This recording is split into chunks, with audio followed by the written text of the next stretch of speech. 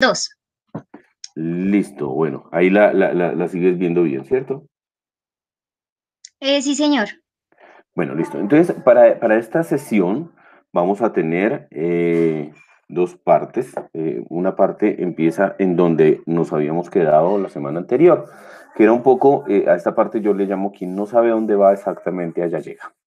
Y aquí, pues, eh, es un complemento, voy a hacer rápidamente algunas cosas que me parece importante que lo podamos, que lo podamos eh, revisar, porque mm, al hablar de mediaciones, y si recuerdas todo el contexto que veíamos la semana anterior, veíamos que mediación, pues depende del contexto y depende de la concepción que tenga del aprendizaje, y depende qué es mediar, hasta dónde se media, qué es lo que se media, estar en el medio entre qué y qué, eh, eh, esas son como cosas que hay que definir.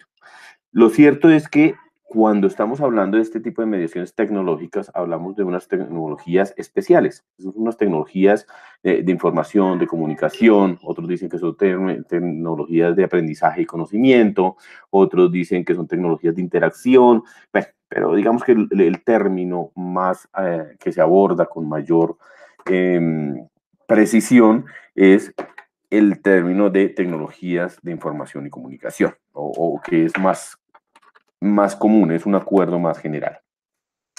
En esos, eh, eh, eh, en esos, o en, esa forma de ver las tecnologías, pues nos encontramos con mm, las competencias de tecnologías de información y comunicación para el desarrollo profesional docente. O sea, ya se habla hace unos años tal vez empezando eh, el 2000, 2004 más o menos, se hablaba de alfabetización computacional.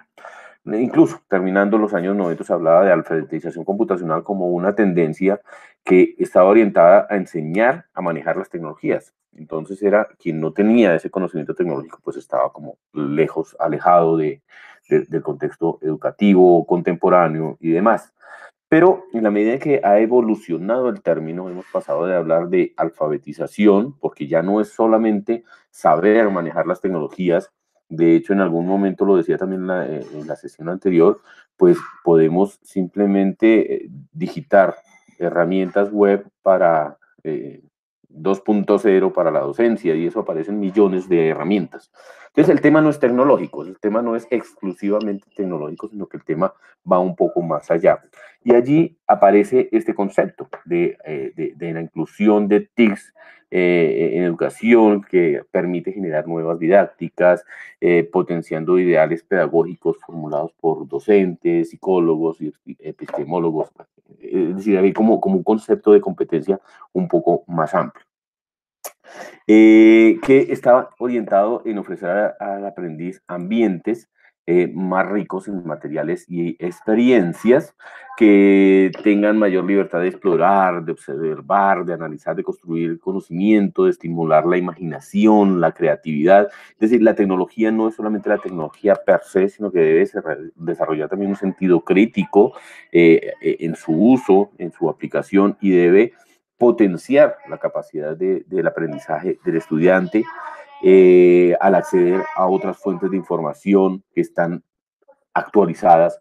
Por eso decíamos, por ejemplo, el tema de aula invertida. O sea, el aula invertida es que ya el problema no es de información, o sea, ya, ya el profesor no es el que tiene toda la información, sino que la información está más afuera que dentro de la clase.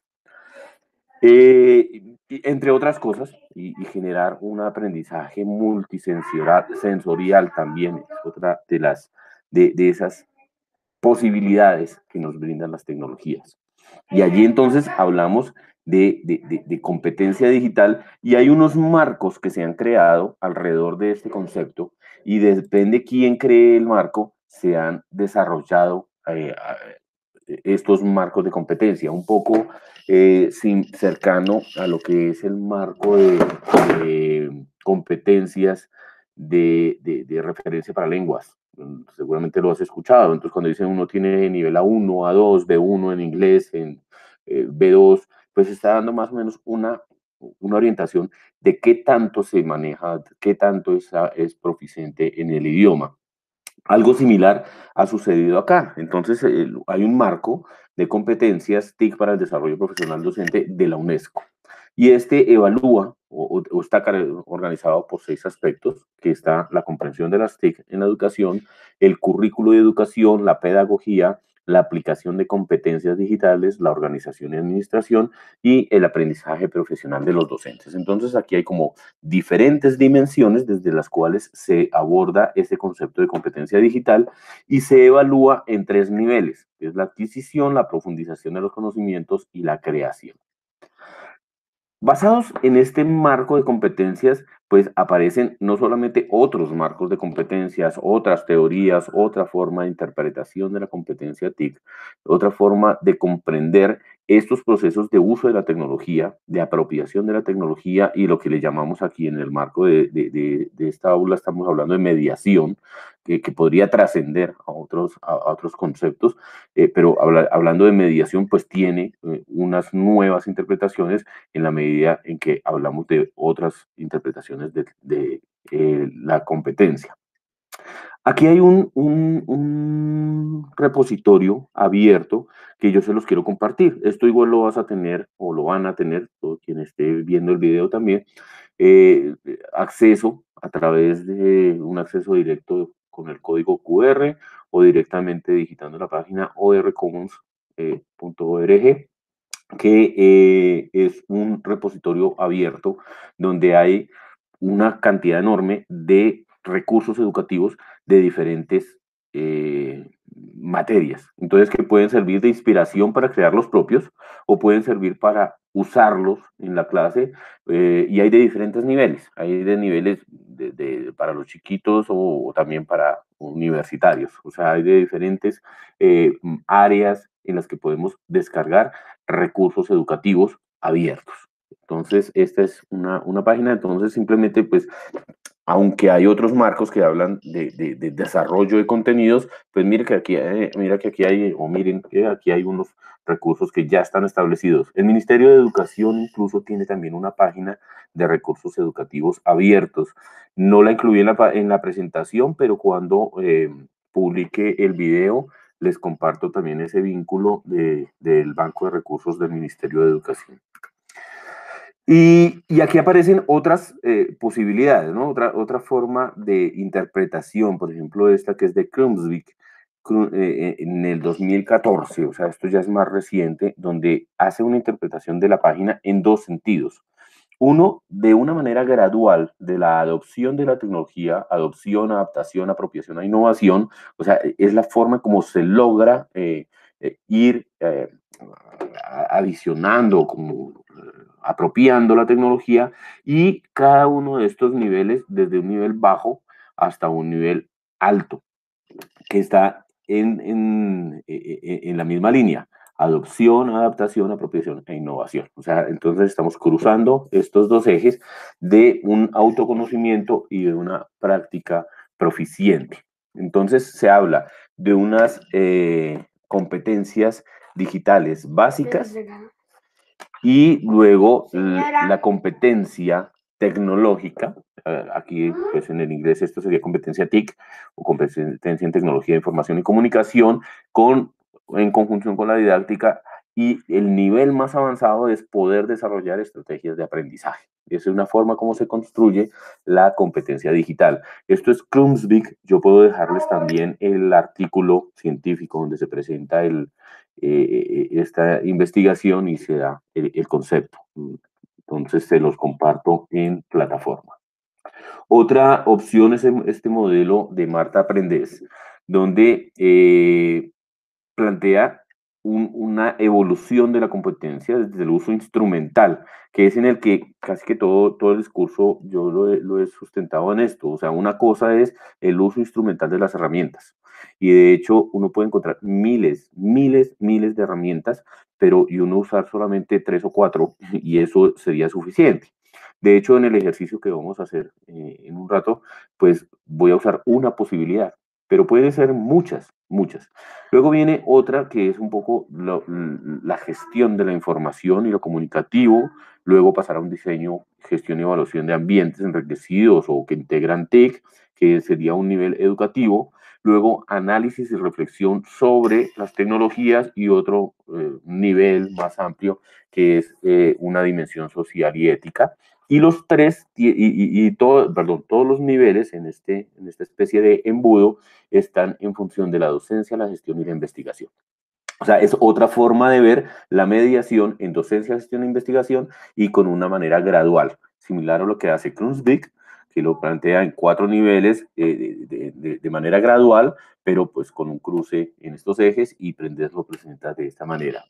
Y eh, Pozos hace una complejización aún más que tiene que ver con, con, esta manera gradual de acceso, adopción, adaptación, apropiación e innovación, eh, es como una forma, pero que él pone incluso unas dimensiones que no las voy a leer, pues ahí están también puedo dejarles el artículo para, para como referencia, eh, donde se habla de una práctica eh, de, inclusión desde poder acceder a la tecnología como unas competencias básicas, luego una de profundización, luego de generación del conocimiento, hasta bueno, aquí habla incluso de una tercera dimensión en el nivel de dominio y grado de complejidad que está cruzando los dos ejes más unos niveles desde las competencias no desarrolladas hasta un nivel experto. O sea, este es un modelo todavía mucho más complejo eh, que, pues, que tendría que ver mucho más allá de implementar tecnología en el aula, ¿no? Aquí se habla de gestión, se habla de la mención ética, de la investigación y, bueno, unas cosas un poco más más complejas y que se, pues valdría la pena también estudiarlas.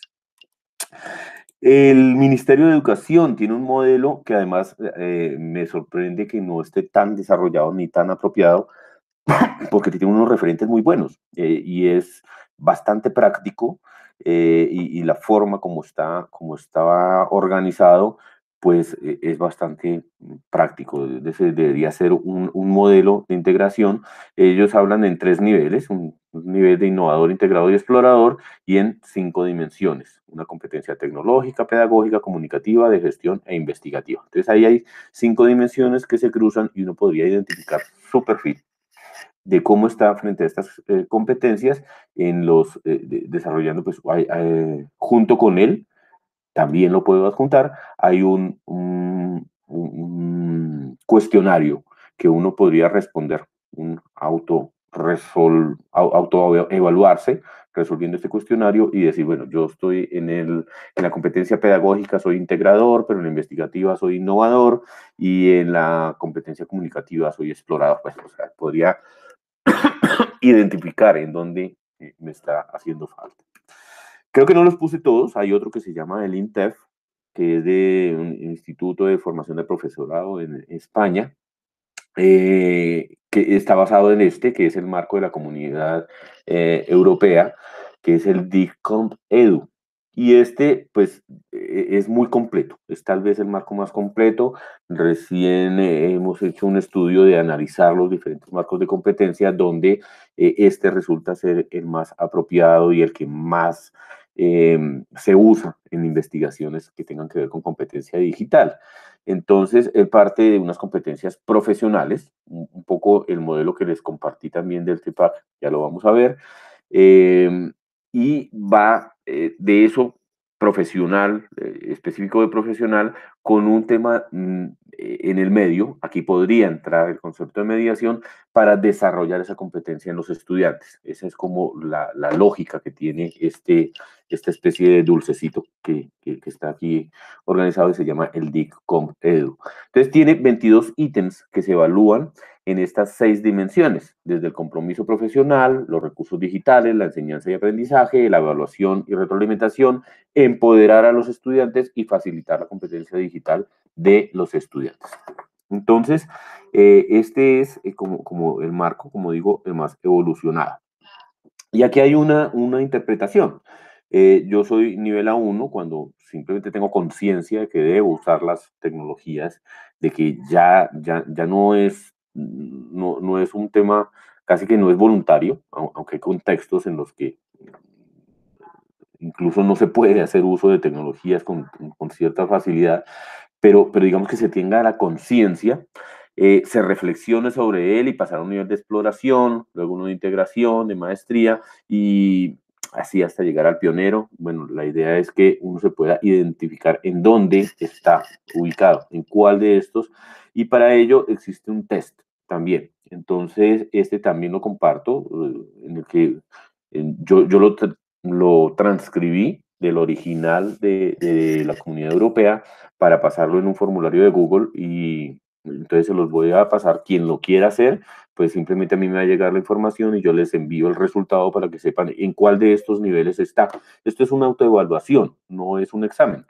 Entonces simplemente dirán, bueno, yo uso realmente tecnologías de búsqueda, selección, clasificación de información en la clase. Si no, en tal nivel, 1, 2, 3, 4, 5, tiene una escala allí en donde uno va marcando y, allí pues dará la, la respuesta. Eh, aquí pueden acceder al, al enlace del DICOMP Edu eh, directamente, pero igual como, como yo publico el video en plataforma, entonces yo creo que ya mañana lo podemos estar viendo en plataforma y acceder a él.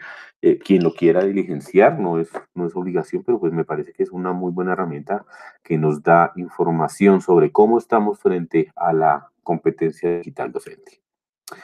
Y aquí aparece el modelo que, que les compartí en esta unidad 2, que es un poco ver eh, cómo tomamos en cuenta la mediación ya no tan instrumental, sino en una triada de dimensiones donde está el conocimiento específico. Eh, si yo dicto matemáticas, pues tengo que tener un conocimiento que es lo que se va a, a desarrollar en mi clase, eh, con un conocimiento tecnológico, es decir, cuáles son las tecnologías apropiadas para eh, desarrollar ese conocimiento en clase y a través de qué herramientas con un conocimiento pedagógico. Entonces, en esta triada aparecen las combinaciones del tecnológico y el conocimiento, el TCK, o el TPK de lo tecnológico y el pedagógico, o el PSK de lo pedagógico y el contenido eh, específico. En esas combinaciones, pues entonces se trata de dar una interpretación de que yo realmente estoy haciendo un uso pedagógico con tecnologías para eh, la enseñanza de un dominio de conocimiento. Entonces yo estoy organizando desde una mirada eh, pues multidimensional. Y mm, eh, esto va acompañado de, de, de, un, de una forma que, que es lo que más o menos eh, vamos, eh, estamos haciendo en este diplomado, en donde vamos a, a ir haciendo eh, el acondicionamiento de unos contenidos siguiendo esta lógica del modelo Samir, que es un nivel de integración desde para mejorar primero mi clase y luego transformarla. ¿Qué es lo que hago? Entonces, a, aquí el ejemplo que estaba también en la presentación anterior, bueno, mentiras, no estaba, sí, sí estaba en la presentación, pero no estaba, era en el video donde yo lo primero que hago, digamos que hace años yo podría estar usando un retroproyector, un proyector de diapositivas.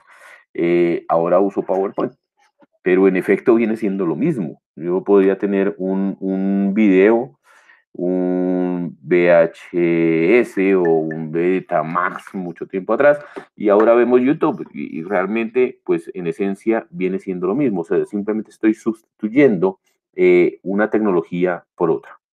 Allí me pregunto por qué hacerlo, Y luego voy a, mm, a decir, bueno, es que yo ya cuando tengo tecnología, ya cuando uso PowerPoint, yo le puedo meter otras cosas. Le puedo meter animaciones, le puedo meter interacción, eh, rutas, puedo determinar si yo hago clic en tal parte, váyase para otro lado, y allí cambia la función porque esto sí ya no lo podía hacer o no era tan sencillo de una manera análoga. Entonces ya no es solamente sustituir la tecnología, sino aumentar su posibilidad.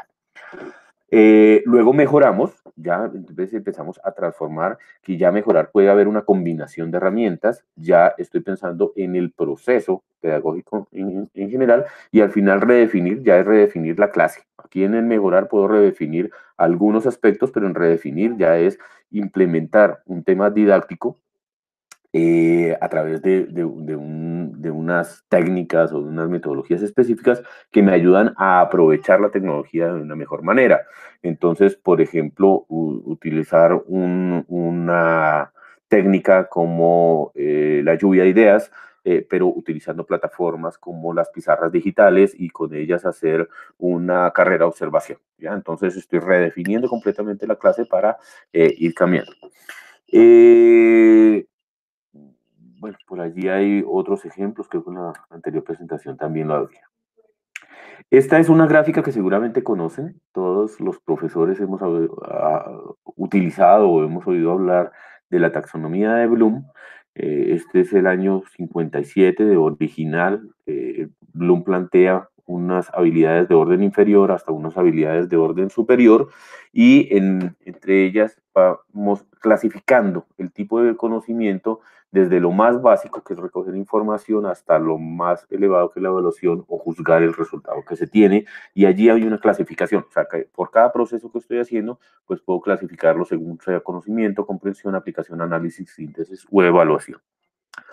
Para el año 2000, 2000 o 2002, no recuerdo, aparece una investigación que retoma la taxonomía de Bloom y le da un reordenamiento. Aquí, por ejemplo, la evaluación no es lo máximo, lo máximo es crear, eh, y lo pone en función de competencia, en función de, verbo, de acción, de qué soy capaz de hacer. Entonces soy capaz de recordar, de comprender, de aplicar, de analizar, evaluar y crear. Y aquí no solamente se clasifica, sino que pareciera haber un desarrollo de la competencia, como en esa base de la pirámide estaría simplemente lo que va a la memoria, pero luego cómo lo proceso, luego lo aplico, luego lo analizo, lo evalúo o soy capaz de crear. Entonces, eh, e, esta es taxonomía de Blue, la habremos utilizado muchas veces, pero aquí hay una aplicación que también es, su, e, e, esta es otra taxonomía, esta taxonomía tiene que ver, con la taxonomía de John Biggs, que va desde lo preestructural o no competente y se va sumando, o sea, esta es una manera gradual de ir haciendo cosas cada vez más complejas, desde una fase cuantitativa donde se reconocen conceptos hasta una fase cualitativa donde se puede hacer una abstracción sobre, sobre los conceptos. Entonces, no solamente se, se van sumando, sino que se van anidando, se van interconectando hasta eh, generar cosas nuevas. Eh, y esta eh, que, tenía, que tenía aquí, la, la, la de Bloom, junto con el modelo Samir, hace, logran esto esta es una, una investigación de Alan Carrington, y, su grupo de investigación, donde em, de manera periódica, digamos que no, no es, o de manera permanente más bien, eh, generan versiones. Esta, por ejemplo, que les estoy presentando es una versión eh, de la rueda de la pedagogía, versión 5 para Apple y para Android. Y entonces lo que están haciendo, lo, que hace este grupo de Alan Carrington es analizar las, las tecnologías disponibles. Aquí están sugiriendo 188 aplicativos en, eh, del App Store y 188 del Google Play para eh, usarlos en clase. Y los están clasificando de acuerdo al modelo SAMIL. Entonces, aquí podemos ver en la parte aquí en, la parte más, la parte exterior, por aquí se ve, está el modelo Samir, entonces empieza por sustitución, de sustitución aumento, a modificación y a redefinición. Y en los, eh, aquí están las actividades que se pueden hacer, videocasting, narración, programación, presentación multimedia, un, un EPUB o un iBook, perdón, eh, aquí hay diferentes actividades que se sugieren con estas aplicaciones y hay unos verbos que están organizados de acuerdo a la taxonomía de Bloom. Aquí está recordar, entender, aplicar, analizar y evaluar y crear, perdón. Entonces ahí están organizados de acuerdo a los a, las, las, características de la taxonomía de Bloom. En el QR está el, e, e, el núcleo, pues, el acceso directamente a la rueda de la pedagogía, que es la página de Alan Carrington. Mm, y bueno, con esto, entonces, e, esta sería como el final de la parte 1. O sea, ese es un poco lo que, lo que llevábamos, donde que nos quedó pendiente de esa primera sesión. Y, la, la, pregunta que nos queda es qué puedo ganar si sustituyo la tecnología antigua por la nueva. Y ese era lo que, lo que íbamos a hacer. No sé, eh, Marta, si quieres, aquí hacemos como, como un alto y si tienes alguna pregunta, eh, pues podríamos también continuar a la siguiente, a la siguiente parte de la sesión. Eh, profe, sí, realmente mm, esos dos documentos que están ahí ya los leí, pero básicamente lo que más me preocupa es cómo cómo adquirir esas herramientas, dónde se encuentran, cómo, cómo logro, porque pues afortunadamente, pues unos cacharriando es que uno aprende, o sea, como que este tipo de tecnologías lo que hace uno es em, buscar alternativas haciendo tutoriales de YouTube y en, fin. Pero tú lo decías ahorita con el ministerio y otras, otras páginas, hay varias que se pueden apropiar, pero ¿Cómo hace uno para, para lograr encontrar esas herramientas, profe? Bien, bien, bien. Lo, primero y, en donde yo quiero hacer énfasis es que tú puedes armar tu propio banco de herramientas. Entonces, por eso, eh, vamos a, esa siguiente parte que es identificar qué, puedo yo sustituir, qué es lo que voy a sustituir de mi clase eh, y, qué tecnologías tengo disponible. Hay tecnologías de todo tipo, de todo tipo. O sea, tú puedes buscar y simplemente haces una búsqueda en Google y dice herramientas eh, web para la docencia y allí te van a aparecer mil herramientas. Bueno, no sé, hagamos la prueba de ver cuántas, cuántas páginas aparecen. Entonces,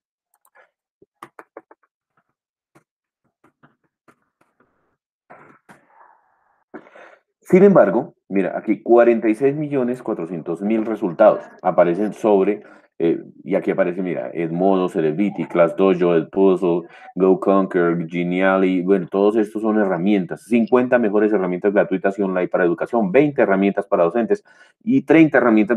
Aparecen 38, aparecen todas las herramientas TIC para docentes, todas las que tú quieras. O sea que el problema no es tecnológico, o sea, el problema lo vamos a encontrar aquí y ahí está, eh, eh, eh, está sencillito. Lo importante es el proceso que estamos haciendo, o sea, esto que, que, vamos a hacer y que forma parte de ese segundo, de esa segunda sección de esta jornada. Entonces, por ejemplo, voy a ir, voy a ya que estamos solitos, pues nos va a rendir más. Pero respondiendo a tu pregunta, esto, mm, después de que has encontrado, yo, yo había dejado una actividad y que era el reto, que es el árbol de perlas. No sé si alcanzaste a llegar ahí. No, profe, eh, no. Hasta ahora estoy. No, no te preocupes, lo, lo, vamos a hacer, lo vamos a hacer acá. Mm, entonces, al ampliar, cuando, perdón, cuando, cuando yo aquí lo que estoy haciendo es buscando herramientas, no importa cuál conseguí, o sea, el mismo PowerPoint es, es una herramienta, el mismo correo de, de Gmail o de, o, de OneDrive, cualquiera es, perdón, de, de Outlook es, e, es, una herramienta. O sea, cualquier dispositivo, cualquier eh, tecnología que tú estés usando ya es una herramienta. Ahora la cosa es, ¿para qué la uso? ¿Cierto? O sea, yo podría enviarle las fotocopias a mis estudiantes y dejárselas en una fotocopiadora. Y decir, páguenle allá a la señora y 200 pesos, 500 pesos de la fotocopia, ahí están. Ahora les envío por correo un PDF. Sustituí, sustituí. Estoy, estoy hablando raro. Sustituí una tecnología. Entonces simplemente ya no dejo fotocopias, ahora lo dejo, lo, lo dejo a través de un PDF y estoy haciendo exactamente lo mismo. Y, y, si lo que quiero es que lo rayen, pues bueno, entonces lo envío con un PDF editable y ya se puede rayar. O sea, e, es un material fungible y también lo puede hacer. ¿Para qué, ¿Para qué lo hago? Eso solamente lo define el profesor. O sea, el sentido lo das tú. Entonces, de ahí pasamos a ampliar, pero para poder ampliar vamos a tener que eh, preguntarnos si con lo que tengo estoy añadiendo una nueva funcionalidad en el proceso. Es decir, no solamente les puse las fotocopias, o les puse el PDF, sino pues para qué, qué sentido tenía eso, qué sentido tenía hacerlo y si yo en vez del PDF les puedo poner, por ejemplo, un PDF con interacción, con un modelo tridimensional, ¿sí? Y entonces ya no utilizo un PDF, sino ya utilizo una tecnología eh, de... Eh, WeTransfer tiene, tiene WeTransfer, que es la, aplicación, y hay otra, que no recuerdo ahorita el nombre, pero ahora la, la podemos buscar, donde yo puedo dejar materiales eh, de este, para lectura donde puedo meterles distintos tipos de interacción e incluso vincular las redes sociales y poner los tweets más sonados sobre un tema, una temática, etc. Entonces, allí estoy, tengo que pensar qué es lo que se agrega adicional para ver la segunda categoría que es ampliar. Entonces, una cosa es seleccionar información y luego ampliar. Ahora, ¿cómo responde esto a tu pregunta de cómo, de cómo voy a encontrarlas? Pues listo, a eso vamos, vamos, vamos a llegar aquí el, eh, eh, el árbol de perlas, así le, le, bauticé yo al reto. El árbol de perlas es cómo yo selecciono lo más fino, lo que me sirve, ¿sí? Porque las tecnologías no hay ninguna mala y no hay ninguna buena, todo depende del contexto. O sea, para mí este PowerPoint poco lo uso porque yo uso más esta de Drive, pero yo no podría decir que PowerPoint es malo. O sea, porque en PowerPoint se pueden hacer infinidad de cosas, se puede grabar pantallas, se puede hacer interacción, se puede hasta programar. O sea, yo puedo hacer maravillas con PowerPoint, pero a mí me gusta más esta de Drive. Eh, eh, y yo hago presentaciones con Drive y, le encuentro sentido a ello. Entonces, para mí, mi perla es ese eh, Drive. Entonces, allí utilizamos una aplicación como PearTrees que me va a permitir capturar información y curar la información que requiero. Yo, yo te la voy a presentar acá porque aquí la tengo. Y entonces lo que hago en Trees es utilizar mis categorías. Aquí ya, yo ya me, me logué, tú lo vas a hacer. Yo, yo les dejé un tutorial ahí en la, en la unidad donde pueden entrar cómo crear la cuenta y demás.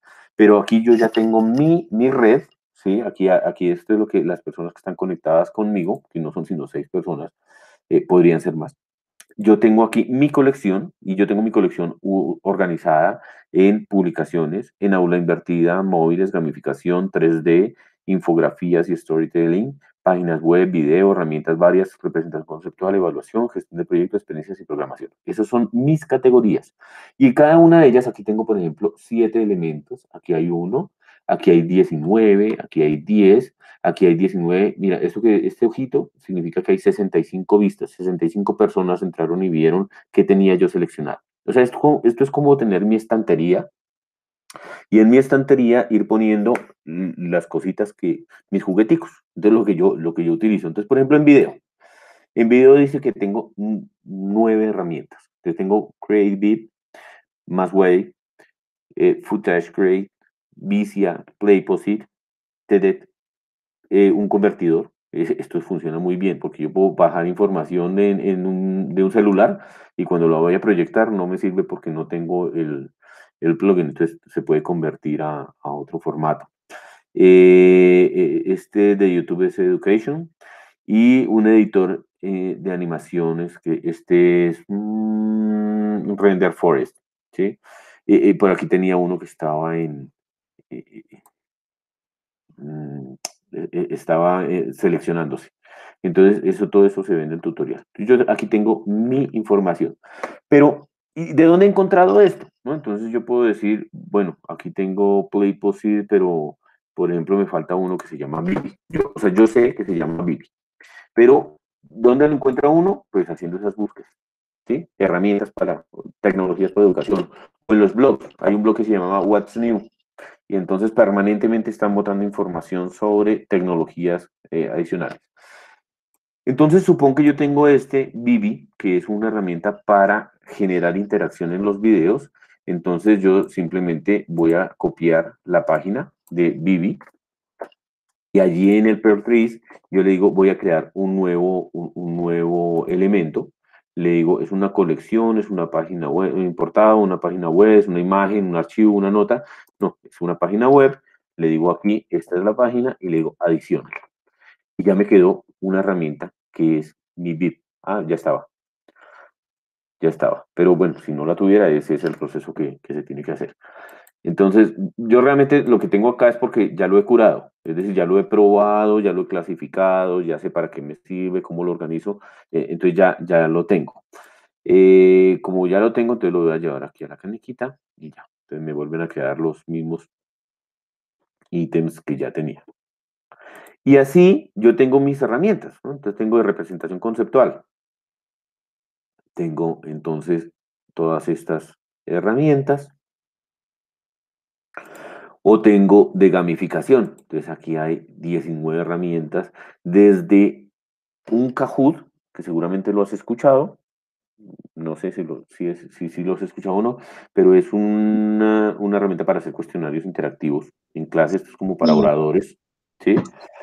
Que, que, es, digamos, de, como, como lo más básico, hasta programación. Entonces yo puedo aquí generar mecánicas de, de, de videojuegos con, con, con, este GameStar o puedo eh, crear mis, mi, mi, mis insignias o crear juegos en Construct 2 eh, puedo crear este Legends of Learning, es como un juego, es crear un juego para, para, para yo, puedo generar una historia y crear un juego. En este caso es un juego que está basado en, en leyendas. O puedo, aquí esta es una página, cómo crear un escape room. ¿sí? Entonces yo voy clasificando mi información y para eso, para eso hay muchas páginas. me gusta Pertris sobre todo por la sencillez, por la simplicidad que tiene eh, eh, para, para, su manejo. Eh, Codo, si, si, uno ve este codo es, bellísimo. Si uno trabaja, no sé si trabajas con niños, pero si trabajas con niños en Codo, Codo es este personaje y vive en un mundo tridimensional donde tú le vas creando elementos, puedes ir creando em, generando historias y generando interacción con los elementos, que por ejemplo que gire, que se detenga, que vuele, que, que corra. Y, y, haciendo estos juegos puedes ir desarrollando eh, programación y, programación avanzada. Mira, aquí se hace, se usa C+, C número, perdón, que es, ya es programación bien avanzada. ¿no? Entonces, aquí hay, e, e, este por ejemplo es un elemento bien interesante que tiene que ver con, con los videojuegos. Entonces, realmente lo que uno hace es que cada vez que encuentra cosas las tiene que ir dejando en un, e, en, un aparador, en una cosa donde uno lo puede recoger fácilmente. Eso, pues, por lo menos intento hacerlo así eh, para, para mantener la, las aplicaciones que realmente uso. Esta de Avítica eh, es un jueguito bien, bien simpático porque la idea es ponerse unos retos y entonces durante la clase tú dictas economía. Y entonces durante la clase de economía tú el primer día le dices a los muchachos vamos a crear eh, cuáles son mis retos, cuáles son los desafíos, cuáles son las tareas que tienen que hacer. Y se hace un plan, un, desarrollo de un plan de, de, lo que se tiene que hacer para poder lograr eh, el desarrollo de cierta competencia o, o, el desarrollo de ciertos contenidos de, de la clase. Y, y Avítica te va a ir eh, contando quién está cumpliendo, quién no está cumpliendo, eh, me va mandando alertas para que lo vaya haciendo y demás. Entonces es una forma bien chévere de integrar cosas en el aula eh, y bueno, yo, digamos, lo tengo acá y, y solamente pues lo, lo, lo, tengo acá clasificado. Luego pues podríamos entrar y mirar ya cosas como de, de, de manejo de esto. Esto entonces para hablar de la eh, clasificación de los recursos. Otra, ah, bueno, no sé, no sé si eso te resuelve eh, la duda, tal vez me explayé un poco, pero pero creo que es muy importante lo que preguntas. Muy bueno, profe, gracias. Bueno, listo. Eh, mira el tutorial. Cualquier cosa, eh, me, pones un mensaje. Eh, si tienes alguna duda o a través de foro, o bueno, creo que ahí incluso está mi, mi contacto ahí en el, correo directamente, me puedes poner algún mensaje y te respondo. Mm, otra cosa que se puede hacer es crear eh, lo que son los contenidos. Hay una licencia, este, este logo, seguramente lo habrás visto muchas veces, que es el logo de Creative Commons, que es una licencia. Lo que uno conoce normalmente es esta, esta ruedita, este, este círculo con una R adentro. Y este es el copyright, que es derechos reservados del autor. O sea, que el autor registró la obra y, y tiene unos derechos sobre esa obra. Yo no puedo hacer uso de esa obra hasta que no estén liberados, hasta que no negocie con el autor y demás. Y, casi que todas las obras por defecto tienen por naturaleza unos derechos que son morales, es decir, unos derechos donde lo que yo construí nadie lo puede utilizar sin no mencionar que yo lo hice y hay unos derechos, hay en la ley, hay, hay uno, un, unas especificidades. Pero contrario a esa ley, aparece una licencia abierta de un movimiento que se llama Creative Commons. Y lo que hace es dejar un licenciamiento para que el conocimiento se difunda, para que las personas que crean cosas las crean con el ánimo de compartir, no de prohibir. Y esa filosofía de, que lo que yo creo también es conocimiento, pero para la humanidad y para el servicio, pues tiene unas restricciones, eh, y, pero tiene muchos beneficios, porque yo, por ejemplo, lo que uso en YouTube generalmente trae una, una licencia estándar de YouTube, pero puede también tener una, una, licencia Creative que me va a permitir hacer uso de esto en cualquier material que yo desarrolle para mi clase. Entonces, pues es importante saber reconocer esa, e, esas licencias. Te voy a mostrar un ejemplo que está aquí mismo en la presentación. Cuando hablamos de la rueda de la pedagogía, acá el, el señor Alan Carrington pone esto, eh, el CC, aquí abajo. Ahí, está. No, no, no, sé si lo alcanzas a ver, pero pues, ahí está el... Y sí se ve, profe. Listo, gracias. Entonces, ahí está el CC, que es la licencia Creative Commons. O sea, tú ya sabes que esto ya lo puedes usar. ¿sí?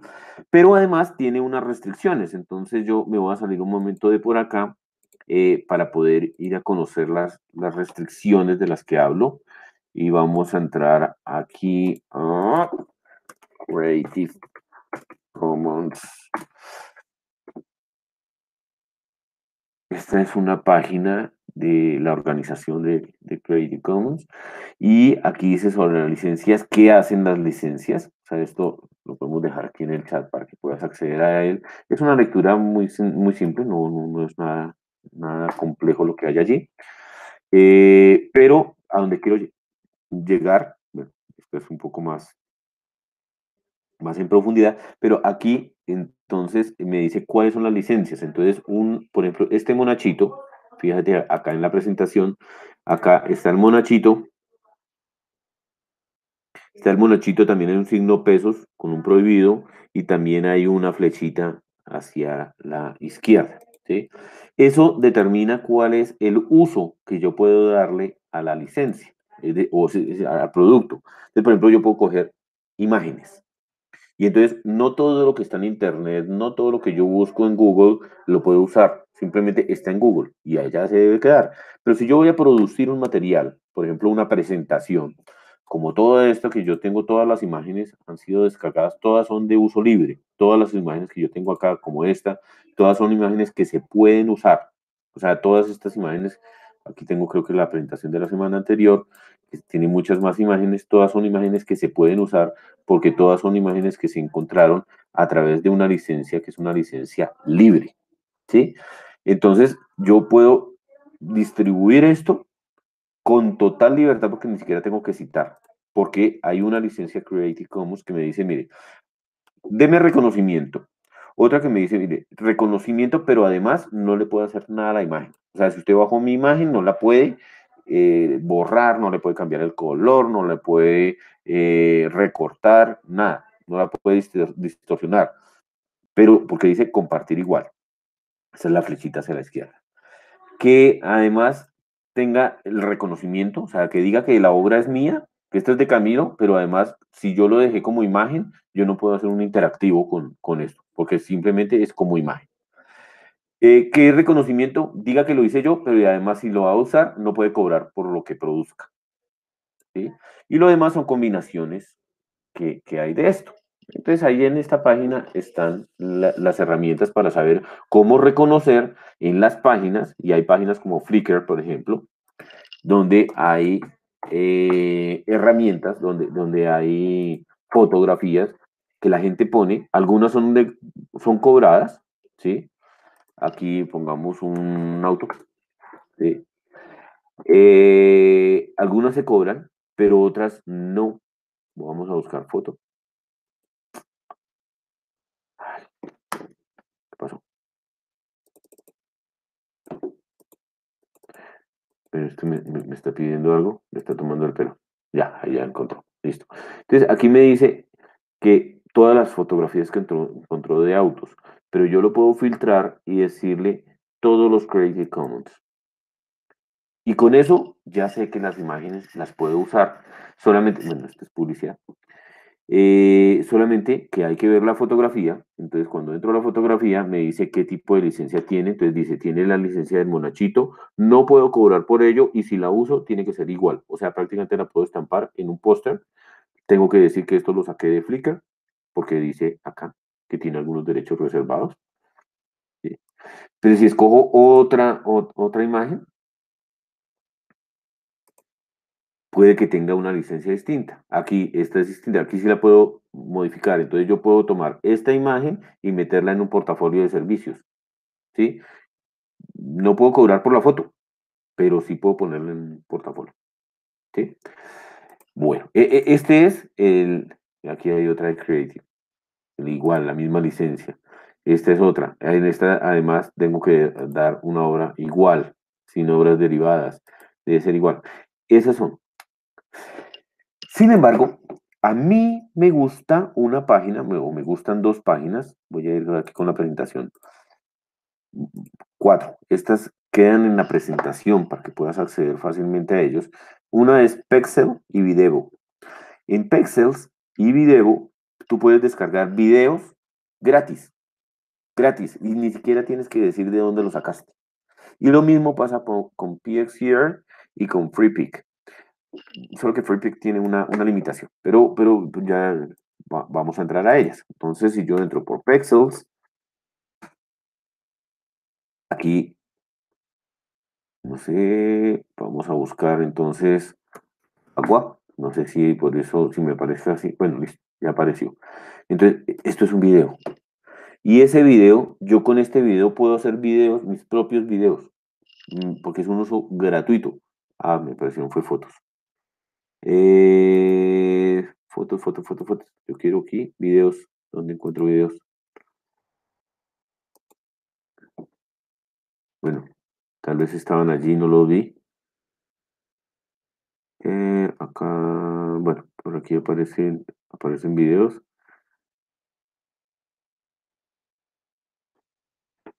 Bueno, aquí pareciera que todos son imágenes. Deben haber...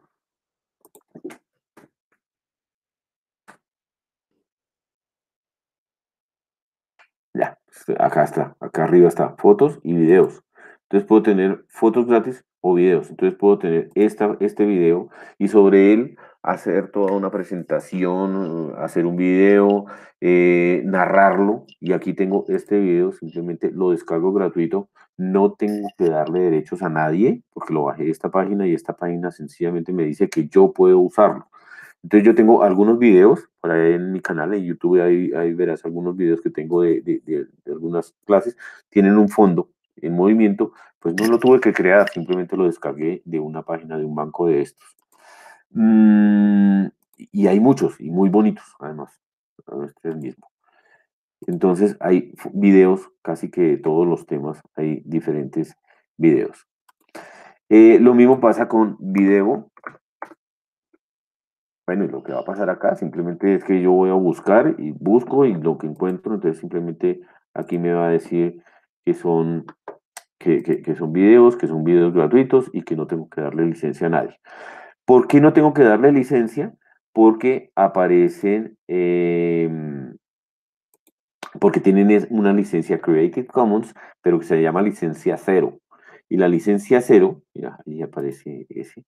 Esa licencia cero significa que yo, bueno, e, e, este tiene, al igual, yo estoy poniendo aquí Pexels, que es gratis, free completamente, y video que no es tan free.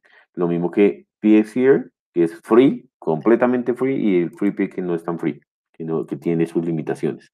Entonces aquí para quitarle la marca de agua toca descargarlo premium, o sea, toca pagar. Mm, perdón, miremos acá entonces. Tú me confirmas si estás viendo todas las páginas que estoy mostrando, ¿cierto? Sí, profe, aquí estoy. Ok. Eh, es que la vez pasada yo no estaba mostrando algo en la presentación, nadie me dijo. Yo seguía hablando ahí. Y aquí... y profe, tengo tres minutos más porque empezó la clase. Ah, listo, no, pues entonces yo creo que vamos a terminar acá. Entonces, mira, aquí tiene este, licencia cero es esto, de dominio público. gratis para uso personal y comercial, no se requiere atribución. Entonces aquí les dejo estas cuatro herramientas y quedamos en la parte 2. Tenía un workshop, un, taller para, para hacer, pero pues bueno, estás, estás solita acá, entonces yo mejor lo que voy a hacer es dejarles un video tutorial de cómo utilizar una herramienta como esta. Y te, dejo acá solamente esto en, en, el minuto que nos queda eh, para que mires qué es lo que vamos a hacer o, para que miren pues todo lo que estamos haciendo. Esto, por ejemplo, es una clase de piano. Entonces, en una clase de piano, yo puedo utilizar un video. Y entonces yo tengo el video que originalmente está aquí. Este, este es el video que tengo originalmente. Es un tutorial, ya, o sea, ya de hecho es un tutorial de una, de una pianista. Aquí lo. Ya es un tutorial de una pianista que se llama Diana Ginsburg y ella está haciendo, eh, pues va tocando el, la, la, la, pieza, ¿sí? Y luego va explicando cómo funciona. O sea, ya es un tutorial. Pero con esto simplemente estaría sustituyendo eh, tecnología. Pero con esto voy a ampliar la clase. Entonces voy a decirle que haga un preview y entonces yo en esto, lo, que estoy mostrando son tres comandos que, que, que hice como de muestra, que es tomar el mismo video, pero además en el mismo video estoy tomando los fragmentos y cada uno de los fragmentos del video lo voy explicando para que quien vea el video pues tenga una guía, como un asesoramiento, responda preguntas. Entonces, ¿cómo están haciendo? Mira, aquí empezamos con esto. Está un poquito demorado, estoy robando segunditos ya. Pero mira, aquí ya va, va a iniciar esto y aquí hay unos punticos en la barra de, en la barra de esto. Si los alcanzaste a ver, había un puntico. Y aquí dice, la primera parte. En esta parte se destaca la nota más aguda en la mano, en la mano derecha, mientras en la izquierda lleva el ritmo de la milonga. ¿Ya? Perfecto. Continuamos. Y entonces toca. Ya está la explicación, se va tocando y luego van apareciendo otras interacciones donde yo voy diciendo, bueno, aquí está la primera, la segunda interacción es una, es una pregunta, debe tocarle gato, debe tocar gato, lo envía, este es el correcto, bueno, ahí va haciendo, y yo le puedo ir haciendo preguntas a los asistentes para que vayan, eh, a los asistentes, digo yo, a los, a, los estudiantes, para que vayan haciendo envíos de, información y vayan viendo información. Esto se supone que me llevaba a una página donde explicaba que era eh, otra cosa. Y además lo pegué con otro tutorial que hablaba sobre las dinámicas para tocar esta canción en el piano. Entonces, eh, aquí estoy combinando, estoy ampliando la capacidad de una tecnología, entonces ya pasamos por sustituir, que era simplemente hablar del video, y ahora estamos ampliando, dándole interacción, fusionando videos y creando un nuevo elemento con esta herramienta que se llama Play.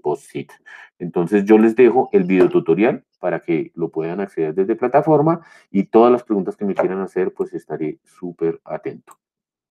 Marta, muchas gracias y creo pues que con eso entonces quedamos con el tiempo justo. El profe Camilo, muchas gracias. Con mucho gusto, con mucho gusto, Marta. Y entonces, pues nos tenemos la siguiente sesión. Sí, señor.